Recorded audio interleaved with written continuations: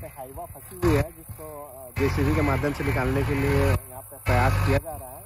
देखते हैं कि इस प्रयास में जेसीबी हाँ, वाले सफल हो पाते हैं। कि नहीं क्योंकि काफ़ी गहरी जा चुकी है यहाँ पे टायर जो है जो टिप्पर का। तो यहाँ पे देखते हैं कि कितनी उनकी कोशिश रहती है जिसमें जेसीबी कामयाब होती है इस गाड़ी को निकालने में।